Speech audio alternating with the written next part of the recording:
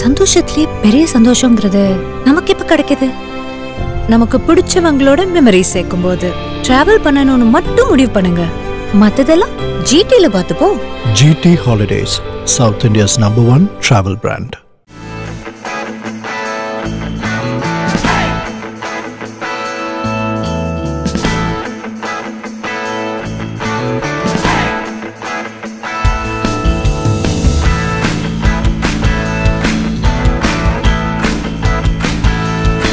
மருத்துவ உலகில் வந்து நான் ரொம்ப பிஸி டாக்டர் ஏதோ வேலை இல்லை அதனால வந்தேன் அப்படின்னு இல்லை. நான் வந்து ரெண்டு கிளினிக் வச்சிருந்தேன். பத்து ஹாஸ்பிட்டலில் ஸ்பெஷல் கன்சல்டண்டாக போயிட்டு இருந்தேன் அப்ப எவ்வளவு மேம் சம்பாதிப்பீங்க? சொந்த பணத்தை நிறைய செலவு பண்ணுவேன். அப்போ உங்களுக்கு தெரியும் பாஜகவில் வந்து கட்சி ரீதியாக பணம் செலவு பண்ணி இப்ப பாஜக தலைவருக்கே அவர் நண்பர்கள் தான் செலவு பண்றாங்க. எந்த டயக்னோசிஸும் நான் தப்பாக பண்ணது கிடையாது. எந்த வழக்கும் நான் வாங்கினது கிடையாது. லிட்டிகேஷன் அதாவது ஸ்கேன் டாக்டர்ஸ் மேலே லிட்டிகேஷன் இருக்கும்.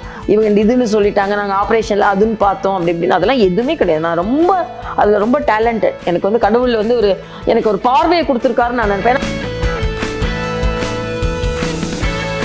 நான் மாநில தலைவர் ஆன காலில இருந்து இவங்களை மாத்திருவாங்க இவங்களை மாத்திருவாங்க இவங்களை மாத்திருவாங்கன்னு சும்மா போட்டுட்டே இருப்பாங்க. ஆனா பாரதிய ஜனதா கட்சியின் அதிக நாட்கள் மாநில தலைவராக பணியாற்றியது நான் தான். காங்கிரஸ் உங்களுக்கு இன்னும் ஈஸியா இருந்திருக்கும். அப்பாவை பார்த்திருப்பீங்க நீங்க. சொன்ன மாதிரி அது வந்து இன்னும் அதிகமா இருந்திருக்கும். ஆனா எனக்கு என்ற ஒரு தனி பெருமை கிடைத்திருக்காது. நைன்டீன் நைன்டி நைன்ல சேர்ற சேர்ந்து டூ தௌசண்ட் வரைக்கும் நான் சொல்லல. பாஜக உறுப்பினரா இருக்கீங்க வீட்டுல உறுப்பினரா இருக்கேன் நான் அப்பாட்ட சொல்லல. அம்மாவுக்கு தெரியும் சாருக்கு தெரியும். ஏன்னா பெரிய ஒரு பிரளயம் வரும்னு எனக்கு நல்லா தெரியும். இது வந்து அடுத்த நாள் எல்லா பத்திரிகையிலையும் குமரி அனந்தனோட மகள் வந்து பாஜகவில் இணைந்தது. செய்தித்தாளை பார்த்து தான் அப்பாவே தெரிஞ்சுக்க அம்மா கார்டு வாங்க சொல்றாங்க. அந்த கார்டுல வந்து செப்டம்பர் பதினேழு நான் வாங்கின கார்டு. அது இன்னும் என்கிட்ட இருக்கு. செப்டம்பர் பதினேழு மரியாதைக்குரிய பாரத பிரதமர் நரேந்திர மோடி அவர்களோட பிறந்த நாள். ஸோ அது. ஆமா பெரியா இருக்கும். பெரியா இருக்கும் எங்க பெரியவருக்கும்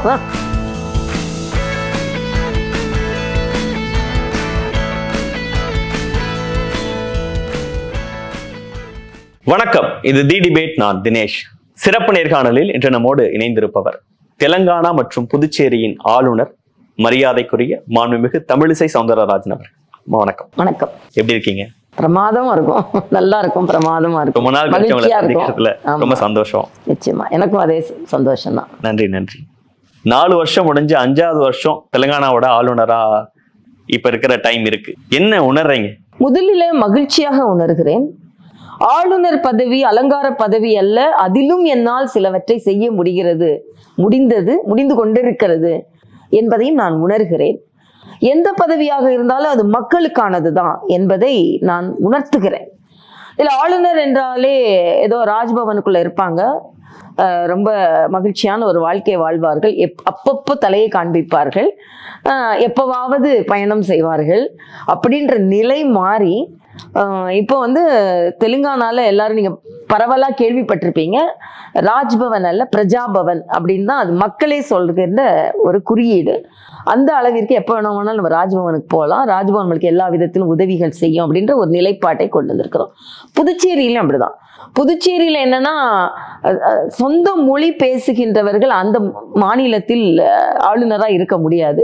எனக்கு இறைவனோட ஆசீர்வாதத்தினால தமிழ் மொழி பேசுகின்ற ஒரு துணைநிலை மாநிலத்தில் கூடுதல் பொறுப்பாக இருந்தாலும் பொறுப்பாக அதை செய்வதற்காக ஒரு வாய்ப்பை இறைவனும் ஆண்டவரும் ஆண்டு கொண்டு இருப்பவரும் கொடுத்ததற்கு உண்மையிலே மகிழ்கிறேன். ஏனென்றால் தாய்மொழியில் பதவியேற்பு என்பது ஆளுநர்களுக்கு மிக அரிதான ஒன்று. ஏன்னா எப்பவுமே அவங்க வேற மாநிலத்துக்கு தான் போவாங்க. நான் தாய்மொழியிலே இங்கே பதவியேற்றது மட்டுமல்லாமல் ஆளுநர் உரையையும் நம்ம தமிழ் மொழியிலே கொடுக்க இதெல்லாம் வந்து ஒரு ஆளுநர்கள். பதவியிலேயே சிலருக்கு மட்டுமே கிடைத்த அதுவும் அவங்க மொழியிலேயே ஹிந்தி மொழினா இந்த மாநிலத்துல இருக்கு. அது வேணா சில பேருக்கு சாத்தியமா இருக்கலாம் ரீஜனல் லாங்குவேஜ் அதுவும் தமிழ்ல. தமிழ்ல கொடுக்க ஒரு வாய்ப்பு வந்து இது என்னோட வாழ்க்கை சரித்திரத்துல இதெல்லாம் முக்கியமான ஒரு கருத்துக்கள் என்பதுதான் பதிய வைக்க வேண்டியது என்பது. ஆளுநர் செயல்பாடுகள் குறித்தெல்லாமும் பேசணும் மேம் அதுக்கு முன்னாடி உங்களுடைய பர்சனல் லைஃப் பத்தியும் தெரியாதவங்க தெரிஞ்சுக்கணும்னு நான் நினைக்கிறேன் மேம் நீங்க உங்க வார்த்தைகள்ல இருந்து சொல்லணும்னா குமரிக்கும் குமாரிக்குமான புதல்வியா நீங்க வந்தீங்க. அங்கிருந்து ஒரு காங்கிரஸ் பாரம்பரியத்துல இருந்து பாஜகவை சூஸ் பண்ண நொடி அரசியல் தான் என்னுடைய எதிர்காலம்னு நீங்க சூஸ் பண்ண நொடி அது எப்ப நடந்தது? ஏறக்குறைய எனக்கு வந்து தனிப்பட்ட வாழ்க்கைன்னு வெளியே தெரியாத வாழ்க்கையெல்லாம் பெருசா கிடையாது. நான் வந்து அதுல ரொம்ப வந்து ஒரு வெளிப்படையான தன்மை உள்ள ஒரு அரசியல் தலைவர். அது மட்டும் இல்ல என்னோட மருத்துவ வாழ்க்கைன்னா பல பேருக்கு தெரியாதனால தான் இந்த ட்விட்டர்ல எல்லாம் கூட நீ என்ன எவ்வளவு மார்க் வாங்கின நீ நீட் எழுதினியா அப்படி இப்படின்லாம் நான் ரொம்ப சிறப்பான ஒரு மருத்துவராகவும் பணியாற்றினேன். பட் தனிப்பட்ட வாழ்க்கை என்பது ஒரு நாங்க ஐந்து பேர் நான் வந்து முதல் பெண் எங்க வீட்டுல அதுக்கப்புறம் எங்கிட்ட ரெண்டு தங்கச்சி அப்புறம் ஒரு தம்பி அப்புறம் ஒரு தங்கச்சி. ஆக வந்து ஒரு சின்ன வயதுல இருந்தே நான் வீட்டுல பொண்ணுனால ஒரு பொறுப்பா இருக்கின்ற ஒரு இது அப்பாவுக்கு உதவி செய்கிறது அம்மாவுக்கு உதவி செய்கிறது. அப்படி அந்த மாதிரியே என்னோட வாழ்க்கை பயணம் வந்து ஒரு சுயநலம் இல்லாம எப்பவுமே மற்றவங்கள் சார்ந்து என்னோட வாழ்க்கை இருந்திருக்கிறது. அதுவும் குறிப்பா அப்பா வந்து வெளி நாட்டுக்கு தான். நம் நாட்டுல தான் வெளி வேலைக்கு தான். ஏன்னா அவங்க வந்து குடும்பத்துக்கு தாண்டி பொது நலன்ல தான். அவங்களோடது. அவங்கள வந்து நான் அடிக்கடி சொல்றது உண்டு. உங்க மக என்ன படிக்கிறாங்கன்னு கேட்டா மகளே நீ என்ன படிக்கிறேன்னு கூப்பிட்டு கேட்பாங்க. அவங்களுக்கு என்ன என்ன படிக்கிறேன்னு கூட தெரியாது. அதான் அப்பாவோட குடும்ப வாழ்க்கை. முற்றிலுமாக பொது வாழ்க்கைக்கு சமர்ப்பிக்கப்பட்டவர். அதனால அம்மாவுக்கு துணையாவே ஆரம்பத்துல இருந்தே இருந்து அம்மா எனக்கும் துணையா இருந்தாங்க. அது மட்டும் இல்லை அரசியல் என்பது எனக்கு வந்து ஏறக்குறைய ஒரு இரண்டு மூன்று வயது நினைவு தெரிந்ததில் இருந்தே அரசியல் தாக்கம் எனக்குள்ள வந்துருச்சு. ஒரு ஆறாவது படிக்கும்போது கூட நான் பல பேட்டிகளில் சொல்லியிருக்கேன். என்னவா ஆகணும்னு சொல்லி டீச்சர் கேட்கும்போது பல பிள்ளைங்கள் எந்திரிச்சு நான் டாக்டர் இன்ஜினியர் டீச்சர்னு சொல்லும்போது நான் அரசியல்வாதி ஆவேன் அப்படின்னு சொன்ன உடனே எங்க அம்மா அடிச்சாங்க. வந்து அரசியல்வாதியெல்லாம் ஆகக்கூடாது. ஏன்னா அது பெண் பிள்ளைகளுக்கு அது சரியா வராதுன்னு சொன்னேன். ஆனா அதே அம்மா தான் பின்னால நான் இந்த முடிவு எடுக்கும் பொழுது அப்பா என்னை எதிர்க்கும் பொழுது எனக்கு கூட ஒரு பக்க பலமா பாலமாகவும் பக்க பலமாகவும் இருந்தவர்கள். ஆக இந்த சில என்னோட வாழ்க்கையில சில முடிவுகள் வந்து பாத்தீங்கன்னா மிகவும் கடுமையாக எடுக்கப்பட்ட முடிவுகள். ஆஹ், இதெல்லாம் இன்னொருத்தவங்க எடுத்திருப்பாங்களா அப்படின்றது நீங்க வாழ்க்கை சரித்திரத்தை பாத்தீங்கன்னா இது ரொம்ப அரிதா தான் இருக்கும். ஏன்னா உதாரணத்திற்கு மருத்துவ உலகில் வந்து நான் ரொம்ப பிஸி டாக்டர் ஏதோ வேலை இல்லை அதனால வந்தேன் அப்படின்னு இல்லை. நான் வந்து ரெண்டு கிளினிக் வச்சிருந்தேன். பத்து ஹாஸ்பிட்டலில் ஸ்பெஷல் கன்சல்டண்டாக போயிட்டு இருந்தேன். ஒரு ஹாஸ்பிட்டலில் வந்து மருத்துவக் கல்லூரியில் துணை பேராசிரியராக இருந்தேன். காலையில் ஏழு மணிலேருந்து இரவு பனிரெண்டு மணி வரைக்கும் நான் ஸ்டாப் ஒர்க் அப்ப எவ்வளவு மேம் சம்பாதிப்பீங்க? அது சொல்ல. நான் நிறைய சம்பாதிச்சிட்டு இருந்தேன். அவ்வளவுதான். அதனால தான் சொல்றேன். அரசியல்ல வந்து நான் ஒன்றும் சம்பாதிக்கல. என்னோட கோட்டு ஒயிட்டு நோட்டு ஒயிட்டுன்னு சொன்னதெல்லாம் நான். மருத்துவத்துறையில சம்பாதிச்சதுதான். அதுக்கும் எங்க அம்மா ஒரு காரணம். எங்க அம்மா சொன்னாங்க நீ வந்து உனக்குன்னு ஒரு தொழில் வைத்துக்கொண்டு நீயே சம்பாதிச்சாதான் உனக்கு வந்து மற்றவர்களோட பணத்தை எடுக்கணும்னு தோணாது. ஒன்று. இன்னொன்று நான் சம்பாதிச்சு கட்சிக்கு செலவு பண்ணிட்டு இருப்பேன். அந்த காலத்துல எங்களுக்கெல்லாம் பெட்ரோலுக்குலாம் காசு கொடுக்க மாட்டாங்க. ட்ரெயின் டிக்கெட் ஃபிளைட் டிக்கெட்லாம் காசு காங்கிரஸ் உங்களுக்கு இன்னும் ஈஸியா இருந்திருக்கும். அப்பாவை இருந்திருக்கும். நீங்க. சொன்ன மாதிரி அது வந்து இன்னும் அதிகமா இருந்திருக்கும். ஆனா எனக்கு என்று ஒரு தனி பெருமை கிடைத்திருக்காது. டைனாஸ்டி பாஜகன்னு எப்ப நீங்க சூஸ் பண்ணீங்க? பாஜக நான் சூஸ் பண்ணது ஆயிரத்தி தொள்ளாயிரத்தி தொண்ணூத்தி ஆறுல. எங்க அப்பா வந்து கன்னியாகுமரியில நிக்கிறாங்க. அப்போ வந்து நான் பாஜக தொண்டர்களோட தீவிரத்தை பாக்குறேன். தலையில அந்த காவி துணியை கட்டிக்கிட்டு அப்பா பிரச்சாரத்துக்கு போகும்போது. ஆமா அப்பா பிரச்சாரத்துக்கு நான் அவங்களுக்கு உதவி செய்ய போயிருந்தேன். இன்னொன்று எனக்கு அரசியல் ஆர்வம் என்னன்னா எங்க அப்பா ஒரு எட்டு தேர்தல்ல நின்று இருக்காங்க முதல்ல ரொம்ப சின்ன பொண்ணா இருந்த வேணா நான் வந்து அந்த எழுபத்தி ஒண்ணு தேர்தல் வேணா கூட இருந்திருக்க மாட்டேன். அதற்கு பின்பு நடந்த எல்லா தேர்தலிலுமே நான் அப்பா கூட அந்த ஒரு இருபது நாள் இருபத்தஞ்சு நாள் முழுசா தேர்தல் வேலைக்கு அவங்க கூட போயிடுவேன். அரசியல்வாதியா இல்ல. அவரோட மகளா நோட்டீஸ் கொடுக்கறது செலவுக்கு பணம் எடுத்து கொடுக்கறது கணக்கு எழுதுறது அப்புறம் வந்து ப்ரோக்ராம் ஃபிக்ஸ் பண்றது தலைவர்களுக்கு ஃபோன் பண்ணி அது மாதிரி வேலையெல்லாம் செஞ்சுட்டு இருப்பேன். ஸோ அது ஒரு ஒரு எட்டு தேர்தல் அப்படிப்பட்ட வேலை செஞ்சு பழக்கம் எனக்கு. ஆனா தேசிய கட்சியில தான் சேரணும்னு ஒரு ஆசை. ஆனா காங்கிரஸ் மேல அவ்வளவு விருப்பம் இல்லை. அதனால அப்பா கூடயே இருந்திருக்கீங்கன்னா காங்கிரஸ் இன்னும் பிடிச்சிருக்கும்ல. ஏன் உங்களுக்கு அவ்வளவு காங்கிரஸ் மேல விருப்பம் இல்லாம இருந்தது? இல்ல நான் எதுக்குன்னா நான் வந்து மருத்துவராகவும் அனுப்புறோம் கனடா நாட்டுக்கு போறேன். அப்போ வந்து ஹெலிகாப்டர்ல குழந்தைங்களை கொண்டு வராங்க. எனக்கு உள்ளுக்குள்ள எப்பவுமே ஒரு எண்ணம் என்னன்னா காங்கிரஸ் வந்து சுதந்திரம் அடைஞ்சு இந்த நாட்டை வந்து அவங்களுக்கு அறுதி பெரும்பான்மை இருந்தது அவங்க கையில. இன்னும் வேகமா முன்னேற்றி இருக்கணும் அப்படின்றது என்னோட எண்ணம். ஏன்னா நான் பல நாடுகளை பார்க்குறேன் வெளிநாடுகளுக்கு போகும்போது படிக்கும்போது. அப்பதான் வாஜ்பாய் வளர்ச்சியை பத்தி பேசுறாரு தங்க நாற்கர சாலையை பத்தி பேசுறாரு கனெக்டிவிட்டியை பத்தி பேசுறாரு. சோ நாம என்ன வளர்ச்சியை நம்ம எதிர்நோக்கி கொண்டிருந்தோமோ அதை வாஜ்பாய் பேசுகிறார். அப்படின்னு நினைச்ச உடனே எனக்கு வந்து இதுதான் நம்மளோட சாய்ஸ் அப்படின்னு சொல்லிட்டு நான் சேர்ந்தேன். எப்ப சொன்னீங்க? வீட்டுல அதை எப்படி சொன்னீங்க? வீட்ல சொன்னதுக்கு ரொம்ப காலம் நைன்டீன் நைன்டி நைன்ல சேர்றேன். சேர்ந்து டூ தௌசண்ட் வரைக்கும் நான் சொல்லலை. ஏன்னா எங்க அப்பா வந்து ரொம்ப பாஜக உறுப்பினரா இருக்கீங்க வீட்டுல உறுப்பினரா இருக்கேன். ஆனா அப்பாட்ட சொல்லல. அம்மாக்கு தெரியும் சாருக்கு தெரியும். ஏன்னா பெரிய ஒரு பிரளயம் வரும்னு எனக்கு நல்லா தெரியும். ஆனா என்னன்னா திருவள்ளுவர் மாவட்டத்துல ஒரு மீட்டிங் நடக்குது. அதுல வந்து சமீபத்துல சேர்ந்த முக்கியமான நபர்கள் அப்படின்னு சில பேர் அறிமுகப்படுத்தணும்னு சொல்லிட்டு என் பேரை எழுதி கொடுத்துட்டாங்க. அதுல வந்து லலிதா குமாரமங்கலம் மேடமும் நானும் அந்த- அந்த அந்த அந்த சமீப காலத்துல சேர்ந்தவங்க. பல பேர் சேர்ந்தாங்க. நாங்க ரெண்டு பேரும் முக்கியமான குடும்ப பின்னணியில இருந்து சேர்ந்ததுனால ரெண்டு பேர் பேரையும் அதுல சொல்லிட்டாங்க. ஸ்டேஜ்லயே சொல்லிடுறேன். ஸ்டேஜ்ல சொல்லிட்டாங்க. அப்ப மரியாதைக்குரிய ஜனா கிருஷ்ணமூர்த்தி தான் அந்த மாநாட்டுக்கு வந்திருக்கிறாரு. இது வந்து அடுத்த நாள் எல்லா பத்திரிகையிலையும் குமரி அனந்தனோட மகள் வந்து பாஜகவில் இணைந்தது. செய்தித்தாளை பார்த்து தான் அப்பாவே தெரிஞ்சு ஆமா. ஓகே. அப்ப செய்தித்தாளை பார்த்துட்டு உடனே தொலைபேசியில தொடர்பு கொண்டு எங்க சார் கிட்ட என்னதான் நடக்குது இங்க? அப்படி இப்படின்னு சொல்லி திட்டி ஓகே. அதுக்கப்புறம் ஒரு ஒன் ஒரு வருஷம் என்கிட்ட பேசாம இருந்து அதுக்கப்புறம் நான் என்னோட உயர்வை பார்த்து சரி கொஞ்சம் கொஞ்சமா அப்படி பேச ஆரம்பிச்சிட்டாங்க. ரொம்ப கடுமையா எனக்கு சித்தப்பா வசந்தகுமார் சித்தப்பா ரொம்ப கடுமையா தொலைபேசியில தொடர்பு கொண்டு உனக்கு எதுக்கு இந்த வேலை? அதிகமா திட்டினாரா? சித்தப்பா சித்தப்பா தான் அதிகமா ஓகே. நாங்க நீங்க என்ன சொன்னீங்கன்னு ஞாபகம் இருக்கா? என்ன சொல்லி ஞாபகம் இருக்கு. எனக்கு ஒரு தேசிய கட்சியில சேரணும் எனக்கு பிடிச்சிருக்கு அவங்கவுங்களுக்கு முடிவெடுக்கின்ற உரிமை இருக்கிறது அதனால நான் சேர்ந்தேன்.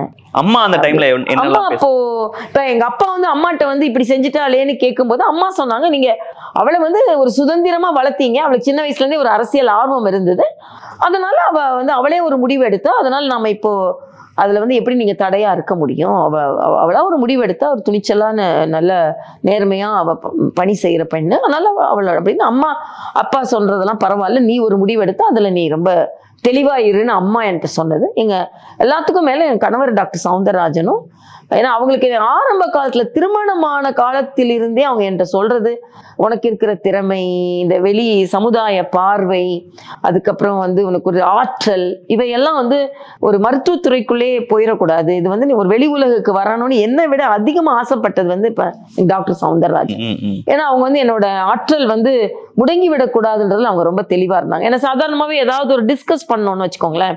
நான் முன்னெடுத்து சொல்ற கருத்தை பார்த்து ரொம்ப அப்ரிஷியேட் பண்ணுவாங்க. எப்படிப்பா இதை இந்த இந்த கோணத்துல நீ பாக்குற. அப்போ வந்து நீ ஒரு மருத்துவத்துறையை ஒரு குடும்ப தலைவியை தாண்டி ஒரு பார்வை உனக்கு இருக்கு. இல்ல யூஸ்வலி வந்து கணவர் டாக்டரா இருக்காங்க. அதுவும் சென்னையில புகழ்பெற்ற ஒரு டாக்டர் நீங்களும் ஒரு புகழ்பெற்ற டாக்டரா. இருக்கும்போது ரெண்டு பேரும் சேர்ந்து ஒரு பெரிய கிளினிக் ஆரம்பிப்போம். பெரிய ஹாஸ்பிட்டல் ஆரம்பிப்போம். அப்படித்தானே பிளான். பண்ணுவாங்க? அதுதான் அவங்ககிட்ட அவங்ககிட்ட ரொம்ப நம்ம பாராட்ட வேண்டியது. இப்ப நீங்க சொன்னீங்க எவ்வளவு சம்பாதிப்பீங்கன்னா நிறையவே சம்பாதிச்சிட்டு இருந்தோம் அப்போ. அதை விட அதிகமா சம்பாதிச்சிருக்கோம். உங்களுக்கு எல்லாம் தெரியும் டாக்டர்ஸ் எவ்வளவு சம்பாதிக்கிறாங்க அப்படின்னா. அது என்ன மாதிரி சார் சூப்பர் ஸ்பெஷலிஸ்ட் கிட்னி நானும் வந்து super special fetal therapy so இது எல்லாமே ரேர் ஸ்பெஷாலிட்டி இதெல்லாம் ரெஃபரன்ஸ் அதிகமாக கிடைக்கக்கூடிய ஒரு மருத்துவத்துறை. அப்படி இருக்கும்போது அதுல இன்னுமே இப்ப என்னோட தோழிகள் என்னை பார்த்து சொல்றத மருத்துவத்துறைக்கு ஒரு மிகப்பெரிய நஷ்டம் நீங்க அரசியலுக்கு போ ஏன்னா நான் என்னோட மருத்துவத்துறையில மிக திறமையாளரா இருந்தேன். எந்த டயக்னோசிஸும் நான் தப்பா பண்ணது கிடையாது. எந்த வழக்கும் நான் வாங்கினது கிடையாது. லிட்டிகேஷன் அதாவது ஸ்கேன் டாக்டர்ஸ் மேல லிட்டிகேஷன் இருக்கும். இவங்க இதுன்னு சொல்லிட்டாங்க நாங்க ஆப்ரேஷன்ல அதுன்னு பார்த்தோம் அப்படி இப்படின்னு அதெல்லாம் எதுவுமே கிடையாது. நான் ரொம்ப அதில் ரொம்ப டேலண்டட் எனக்கு வந்து கடவுள் வந்து ஒரு எனக்கு ஒரு பார்வையை கொடுத்துருக்காருன்னு நான் நினைப்பேன். ஏன்னா எல்லாருமே பார்ப்பாங்க. நான் அந்த அப்நார்மாலிட்டியை பார்த்த உடனே கண்டுபிடிச்சிருவேன். ஸோ அந்த ஒரு திறமை என்கிட்ட இருந்தது. அது ஒரு ஒரு எக்ஸ்ட்ரானரி திறமை தான் என்கிட்ட இருந்ததுன்னு சொல்லலாம். ஏன்னா என்னை வந்து அப்படியே கொண்டாடுனாங்க ஹாஸ்பிட்டலில் டாக்டர் தமிழிசைட்ட போ போனாங்கன்னா டயக்னோசிஸ் கரெக்டாக இருக்கும். சில நேரங்களில் வந்து பார்த்தீங்கன்னா முதல் டாக்டர் வேற மாதிரி சொல்லி ரெண்டாவது டாக்டர் வேற மாதிரி சொல்லி மூணாவது டாக்டராக நான் பார்த்து அஹ் அது வந்து சரியா இருந்து மற்ற டாக்டர் அப்பெல்லாம் அவங்களாம் சீனியரா இருப்பாங்க. நான் அப்போ ரொம்ப சி- சின்ன பொண்ணா இருப்பேன். இல்ல இவங்க பேஷண்ட்டே சொல்லுவாங்க. பெரிய பெரிய டாக்டர்லாம் பார்த்துட்டு அது தப்புன்னு சொல்றாங்க. இவங்க சின்ன பொண்ணா இருக்காங்க. இவங்க பார்த்துது சரி இவங்க சொல்றது நீங்க சரின்னு சொல்கிறீங்களே எல்லாம் நிறைய கான்ட்ரவர்சிலாம் வந்திருக்கு. ஆனா எல்லாத்துலயும் நான் செஞ்சது தான் கரெக்டா இருக்கும். அந்த அளவுக்கு எனக்கு இறைவன் வந்து எனக்கு ஒரு கெப்பாசிட்டியை கொடுத்திருந்தாரு. அப்பா வந்து ஒரு ஒரு வருஷம் உங்கள்கிட்ட பேசாமே இருக்காரு. வழக்கமா ஒரு குடும்பத்துல இருக்க பெண்களுக்கு அப்பாவை தாண்டி நம்ம ஒன்றும் அவ்வளோலாம் ஒன்றும் பாலிடிக்ஸ்ல பண்ணிட வேண்டாம். நம்ம அப்பா கூட ஒரு நல்ல உறவை மெயின்டைன் பண்ணணும் அப்படின்னு நினைச்சிட்டு அப்பாவோட விருப்பம் என்னவோ அதை தானே செய்யற பெண்களா இருக்கு இல்ல நான் அப்படி நினைக்கல. இப்ப பேசாம இருக்கிற அப்பா என்னோட வளர்ச்சியை பார்த்து என்கிட்ட பேச வைக்கணும். அதனால நான் இன்னும் இப்படி வளரணும். அப்படிதான் நினைச்சேன். ஸோ நாம வந்து அவர் அவங்க பேசாம இருக்குன்றக்காக ஓகே நம்ம நினைச்சதை விட்டுட்டு அவங்ககிட்ட பேசுறது ஒரு விதம். இன்னொன்று இல்லை அவங்கள நம்மளை பேச வைக்கணும். இப்போ என்னோட உயர்வை பார்த்து பார்த்து பார்த்து எங்க அப்பா இப்போ உதாரணத்துக்கு நான் மாநில தலைவர் ஆனோடனே எங்கள் அப்பா ரொம்ப மகிழ்ச்சி இது வந்து ஏன்னா அவங்க ஒரு அரசியல் கட்சியில இருந்து அதுவும் ஒரு தேசிய கட்சியில அடிமட்டத்தில் இருந்து பல போட்டிகளை தாண்டி ஒரு மாநில தலைவராக வர்றதுன்றது ஒரு மிக பெரிய விஷயம்தான். இன்னைக்கு கூட நீங்கள் வந்து ஆளுநராக இருந்த காலமா? இல்லைன்னா தேசிய செயலாளராக இருந்த காலமா? இல்லைன்னா மாநில பொதுச் செயலாளர் இருந்த காலமா? தேசிய செயற்குழுல இருந்த காலம்? இதெல்லாம் பெரிய பெரிய போஸ்ட் உங்களுக்கு எது பிடிச்சதுன்னு கேட்டா மாநில தலைவரா இருந்ததுதான் நான் சொல்வேன். ஏன்னா மாநில தலைவர் என்பது ஒரு ஆளுமை மிகுந்த ஒரு பதவி. நம்ம வந்து உள்ள வந்ததற்கு பிறகாக மருத்துவர் அணியில தான் முதல்ல ஆமா நான் நைன்டி நைன்ல மருத்துவர் அணியில வரேன். ஒரு மூணு டென்யூர் நான் மருத்துவர் அணியிலே தான் இருக்கேன். யூஸ்வலா அணில இருந்து அப்படியே அணிலே போயிடுவாங்க. இந்த அணில இருந்து அப்படி இம்பா இம்பார்ட்டண்டா ஒரு ஒரு போஸ்ட் வச்சிருப்பாங்க. அவங்க தொழிலையும் செஞ்சுட்டு இருப்பாங்க. பட் அணில தீவிரமா பணியாற்றி மெயின் பாடிக்கு வந்து மாநில தலைவரா அப்போ வரைக்கும் பிராக்டிசிங்கும் பண்ணிட்டே அப்ப பிராக்டிஸ் பண்ண மாநில தலைவர் ஆற வரைக்கும் கூட நான் பிராக்டிஸ் பண்ணிட்டு இருந்தேன். மாநில தலைவர் அப்படின்னா ஒன்னொன்னா குறைச்சிட்டே வந்தேன்னு வச்சுக்கோங்களேன். வந்து பத்து ஹாஸ்பிட்டல் பார்த்துட்டு இருந்தேன். அப்புறம் வந்து ஒரு போஸ்ட் வந்தவொடனே கொஞ்சம் வேலை அதிகமான உடனே ஒரு ரெண்டு ஹாஸ்பிட்டல் விட்டுட்டு ஒரு ஆறு ஏழு ஹாஸ்பிட்டல் பார்த்துட்டு இருந்தேன். அதுக்கப்புறம் ஒரு மூணு என்னோட கிளினிக் மாத்திரம் பார்த்துட்டு உதவி பேராசிரியரை பணியாற்றி கொண்டிருந்தேன். அப்புறம் உதவி பேராசிரியரை விட்டுட்டு என் கிளினிக் மட்டும் வச்சிருந்தேன். அதுக்கப்புறம் கிளினிக்லேயும் நம்ம வந்து மாநில தலைவர்ன்றது ஒரு மூணு நேர பதவி. இதில் நம்ம வந்து we have to do justice to the post which is given to us அதனால உடனே நான் வந்து அதையும் மூணு ரெண்டு கிளினிக்கும் மூடிட்டேன். ஏன்னா வேற டாக்டர்ஸ் வச்சு பார்த்து அதில் தப்பு வந்து அதெல்லாம் பண்றதை விட பேசாம நம்ம சரி ஆக என்னோட படிப்படியா என்னோட மருத்துவ உலக உங்க. மேல பாஜகவின் முக்கிய தலைவர்கள் கவனம் செலுத்துறாங்க. நம்மளுடைய ஒர்க்கை ரெகக்னைஸ் பண்றாங்கன்னு உணர்ந்தது எப்ப மேடம் அது கொஞ்சம் காலம் ஆயிடுச்சு. ஏன்னா வந்து நீங்க நான் வந்து சேர்ந்தது ஆயிரத்தி தொள்ளாயிரத்தி தொண்ணூத்தி ஒன்பது. என்னோட ஒரு- கிரேட் கோயின்சிடென்ஸ் ஒன்று இருந்தது. அதுல வந்து அப்ப கே என் லக்ஷ்மணன் வந்து அவங்க தலைவரா இருக்காங்க. டாக்டர் முருகமணி அப்படின்னு சொல்லிட்டு அவர் மருத்துவர் அணியில தென்சென்னை மாவட்ட தலைவரா இருக்காரு. ம- மருத்துவர் அணி தலைவரா இருக்காரு. அவர்கிட்ட தான் வந்து வாங்க சொல்றாங்க. கார்டு வாங்க சொல்றாங்க. அந்த கார்டுல வந்து செப்டம்பர் பதினேழு நான் வாங்கின கார்டு. அது இன்னும் என்கிட்ட இருக்கு. செப்டம்பர் பதினேழு மரியாதைக்குரிய பாரத பிரதமர் நரேந்திர மோடி அவர்களோட பிறந்த நாள். சோ அது பெரியா ஒரு- இருக்கும். ஆமா பெரியா இருக்கும். பெரியா இருக்கும் எங்க பெரியவருக்கும் அதனால அந்த பதினேழு வந்து ஒரு ஒரு ஒரு கோயில் அப்புறமா தான் எனக்கு தெரியும். ஏன்னா அப்பெல்லாம் மோடிஜி வந்து முதலமைச்சரா இருக்கும்போது நம்மளுக்கு செப்டம்பர் பதினேழு அவ்வளவு முக்கியத்துவம் இல்லை. அது ஒன்று. இன்னொன்று ஒரு பத்து ரெண்டாயிரத்தி ஒன்பது வரைக்கும் கூட ரொம்ப தட்டு தடுமாறி அப்படிதான். எப்போ மாநிலத்தோட பொதுச் செயலாளர் ஆனேன்னு அப்பவே என்னோட வளர்ச்சி ஆரம்பிச்சு. நீங்க டிபேட்ஸ் எல்லாம் வந்து பேச அப்பவே செய்தி தொடர்பாளர். ரெண்டாயிரத்தி இருபது ஒன்று ரெண்டாயிரத்தி இரண்டுலலாம் நான் வந்து குஜராத் நிகழ்வுகள் அதெல்லாம் நம்ம தீவிரமா நான் டிபேட்ல அப்ப கலந்துக்கிட்டேன். அப்ப முதல்ல இருந்தே நான் டிபேட்ல கலந்துக்கிட்ட வாய்ப்பு எனக்கு கிடைச்சது. அதெல்லாம் பார்த்து பாராட்டினவங்க எல்லாம் நிறைய இருக்காங்க. நிறைய இருக்காங்க. மரியாதைக்குரிய வெங்கையா நாயுடு அவர்கள் எப்போ எனக்கு அகில பாரத மருத்துவர் அணி பொறுப்பு எப்போ கொடுத்தாருன்னா மரியாதைக்குரிய இல கணேசன் அவர்களும் லலிதா குமாரமங்கலம் அவர்களும் தேசிய செயலாளர் ஆறாங்க. அதுக்கு ஒரு பாராட்டு விழா நடக்குது. அந்த பாராட்டு விழாவை காம்பேர் நான் பண்றேன். இந்த ராஜா அண்ணாமலை மன்றத்தில் அந்த நிகழ்ச்சி நடக்குது. அதில் காம்பேர் பண்ணும்போது அன்னைக்கு அகில பாரத தலைவர் வெங்கையா நாயுடு அவர்கள். அவங்க பார்த்துட்டு இவங்க இவ்வளோ நல்லா பேசுறாங்களே அப்போ இவங்க வந்து அவங்க இவங்க வந்து இன்னும் இவங்க மேல் எடுத்து செல்லப்பட வேண்டியவங்கன்னு சொல்லிட்டு அடுத்து போய் ரெண்டு நாள்ல என்ன அகில பாரத மருத்துவர் அணியின் இணை பொறுப்பாளரை அனௌன்ஸ் பண்றாரு. இப்போ இங்க எல்லாருக்குமே ஒரு ஆச்சரியம். ஏன்னா ஆல் இந்தியால விங்ஸ்ல அப்ப இவர் நம்ம ஹர்ஷவர்தன் தான் அப்ப தலைவரா இருக்கார். மருத்துவ மருத்துவர். அணியில. அதுக்கப்புறம் சில பேர் தான் அணியில தானே இருக்கிறோம் அப்படின்னு சொல்லிட்டு அதை ஒரு சைட் பிசினஸ் மாதிரி பண்ணிட்டு இருப்பாங்க. மெயின் பிசினஸ் மெடிக்கல் பிராக்டிஸ் மருத்துவர் அணி கூட்டம் போனேன் ஆனா அப்பவே நான் என்ன பண்ணேன்? நான் மருத்துவர் அணியில இருந்தா கூட எனக்கு ஃபீல்டு ஒர்க்ல கொடுங்கன்னு ரெண்டு மாவட்டங்களுக்கு பொறுப்பா திரு ரெண்டு மாவட்டம் மூணு மாவட்டம் சின்ன திருவள்ளூர் மாவட்டம் வேலூர் திருவண்ணாமலை. இந்த மூணு மாவட்டம் எனக்கு கொடுத்த உடனே நான் அது வந்து அது ரொம்ப தீவிரமா அந்த செயற்குழு போடுறது அந்த மெம்பர்ஸ் அங்கே சேர்க்கறது. ஸோ இந்த மூணு மாவட்டத்துலையும் நான் ரொம்ப தீவிரமா பணியாற்றின உடனே ஸோ இவங்களுக்கு வந்து ஆர்கனைசேஷன் ஒர்க்கும் நல்லா வருது. மருத்துவர் அணின்னு பிரிஞ்சு சைட்ல சைட் லைன்ல போகாம மெயின் லைன்ல வர்றதுக்கு நல்லா பணியாற்றுறாங்கன்னு சொன்ன உடனே அதில் வந்து நான் எனக்கு இவ்வளோ இம்பார்ட்டன்ஸ் நான் எப்படி அந்த மூன்று மாவட்டங்களையும் நான் எப்படி மேம்படுத்தினேன் அந்த மூன்று மாவட்டங்களை எப்படி உறுப்பினர் எண்ணிக்கை அதிகரித்தேன் அந்த மூன்று மாவட்டங்களையும் ஆர்கனைசேஷன் ஒர்க்லாம் எவ்வளோ கிளியராக நடந்தது கரெக்டாக நடந்தது அப்படின்னு பார்த்துட்டு என்னை பொதுச் செயலாளராக இலகணேசன் அவர்கள் அவங்க வந்து இருக்கும்போது நான் வந்து பொதுச் செயலாளராக அப்போ கூட என்கிட்ட இலகணேசன் என்னை கூப்பிட்டு சொல்கிறாரு மா உங்களை வந்து பொதுச் செயலாளராக சொல்கிறாங்க மத்தியிலையும் உங்களோட வேலை மேலே ஒரு அதனால ம- பெண்களை ஆக்கணும்னு நாலு பொதுச் செயலாளர்ல நீங்க ஒருத்தங்க ஆறீங்க. ஆனா இது முழு நேர வேலைமா நீங்க டாக்டரா வேற இருக்கீங்க. அதனால நீங்க பார்த்து செய்யணும் அப்படின்னு சொன்னாங்க. அப்ப யாருக்குமே நம்பிக்கை இல்லை. இவங்க எப்படி பொதுச் செயலாளர்னா முத கடலூர் வரைக்கும் பத்து மாவட்டம் வேற இன்சார்ஜ் ஓகே ஸோ இவங்க பத்து மாவட்டத்துக்கு போகணும் மெடிக்கல் ப்ராக்டிஸ் பண்ணணும் அப்படின்னு. அப்பவே நான் என்ன கிளினிக் குறைச்சிக்கிட்டீங்க. ஆமா குறைச்சிட்டு அந்த பத்து மாவட்டங்களுக்கும் போவேன். கடலூர் வரைக்கும் வந்துட்டு போவேன். அந்த பத்து மாவட்டங்கள் வேலையை நல்லா பார்த்தேன். அதனால அப்புறம் மாநில துணைத் தலைவரானேன். பொன்றதா இப்போ நீங்க பிராக்டிஸ் பண்றக்கும் போது ஒரு ஊதியம் குறையும். அந்த மாதிரி விஷயங்கள்லாம் நடக்கும். இந்த பக்கம் நீங்க வந்து உங்களுக்கு பொறுப்புகள் வந்துகிட்டே இருக்கலாம். அப்ப ஆனா எக்கனாமிக்கலி நம்ம வந்து இன்னும் கொஞ்சம் வளர்ந்துருக்கலாமே அப்படிங்கிற தாட்ஸ்லாம் உங்களுக்கு வரவே வராது. பேசிக்கா எல்லா இல்ல வரும். பட் ஆனா நம்ம என்னன்னா எனக்கு வந்து எங்க டாக்டர் அதுக்கு வந்து உறுதுணையா இருந்தாங்க. முதல்ல அப்படிதான். கிளினிக்ல போவேன். பேஷண்ட் பார்த்து அந்த காசு எடுத்துட்டு பெட்ரோல் போட்டு திருவள்ளூர் மாவட்டம் போவேன். அதுக்கப்புறம் கையில கூட கொஞ்சம் காசு வந்தோடனே ட்ரெயின் டிக்கெட் எடுக்கலாம் ஃப்ளைட் டிக்கெட் போவேன். ஸோ அதனால சொந்த பணத்தை நிறைய செலவு பண்ணுவேன். ஏன்னா அப்போ உங்களுக்கு தெரியும். பாஜகவில் வந்து கட்சி ரீதியா பணம் செலவு பண்ணி ஸோ என்னோட தொழில் எனக்கு ஒரு வித இப்ப பாஜக தலைவருக்கே அவர் நண்பர்கள் தான் செலவு கரெக்ட் நாங்க ஆக இன்னொன்று நான் அதான் நான் வந்து நாங்கள் ப்ராக்டிஸ் பண்ணி அதில் தான் செலவு பண்ணேன். ஸோ வந்து இன்னொன்று என்னோட எங்கள் அம்மா சொன்ன ஒரு விதம் வந்து கரெக்ட் எங்கள் அம்மா நீயே சம்பாதிச்சாதான். அப்போ நான் வந்து மற்றவங்களை சார்ந்து இருக்க வேணான்றக்காக எங்கெல்லாம் போகணும்னு நினைக்கிறேன் நானே டிக்கெட் போட்டுக்கிட்டதுனால போக வேண்டிய இடத்துக்குலாம் நான் வந்து ஃப்ரீக்வெண்ட்டாகவே போனேன். நான் செலவு பண்ணுறதை பற்றி கவலைப்படலை நான். அது எனக்கு ஒரு உதவி செஞ்சுது.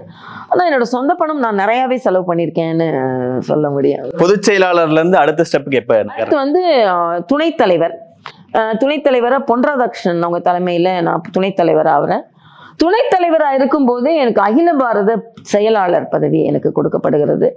தென்னிந்தியாவிலேயே பாஜக துணைத் தலைவர் போஸ்டிங் உங்களுக்கு மட்டும் இருந்திருக்காதுல்ல இன்னும் ரெண்டு மூணு பேரும் ஷேர் பண்ணி. எட்டு பேர் எங்களுதுல எட்டு பேர். எட்டு துணைத் தலைவர்கள் இருக்காங்க. நான் எட்டா இல்லை நான் ஒன்று ஓகே ஓகே. இது அப்பவே எங்களுக்கு இடஒதுக்கீடு இருந்தது. இப்ப முப்பத்தி மூணு சதவீதம் இடஒதுக்கீடு இருக்குல்ல? அப்போ எங்களுக்கு கட்சி ரீதியா இருந்தது.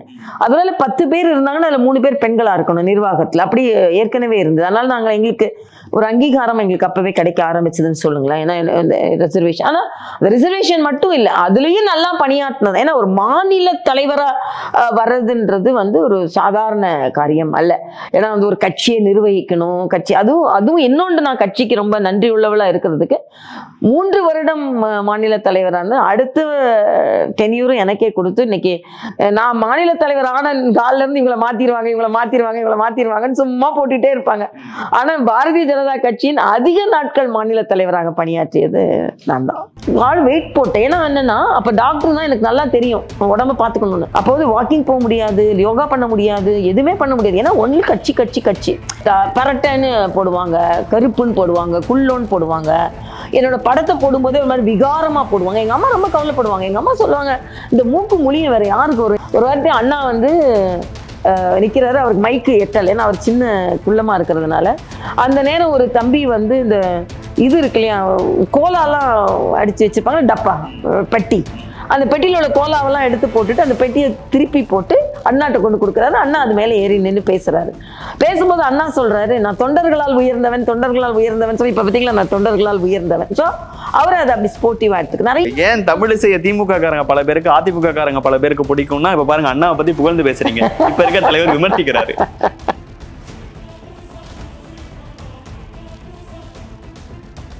சந்தோஷத்திலேயே பெரிய சந்தோஷங்கிறது நமக்கு எப்ப கிடைக்குது?